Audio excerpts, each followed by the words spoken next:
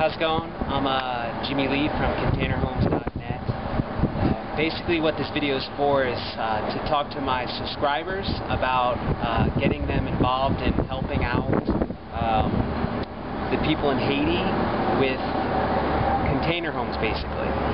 If you could, you know, basically get in touch with people you know, um, perhaps some agencies, some nonprofits, uh, any avenues, any advice you have for my company would be helpful we basically could put these containers here, uh, here, here, uh, make them into homes quite rapidly for 15 to 20 people. Um, they'd be bunk beds, kitchen, bathroom. Uh, we'd have a super reduced price uh, to support the cause.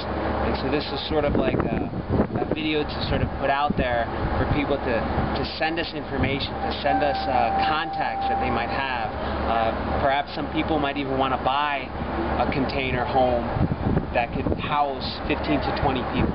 Okay? Uh, look at the information below us at the website, uh, www.containerhomes.net, or you can contact me directly on the telephone below.